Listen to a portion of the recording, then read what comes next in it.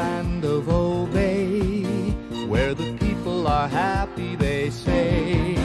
Where they learn very young to do the things they should. So when they get old, it's easy to be good. Come along to the land of Obey.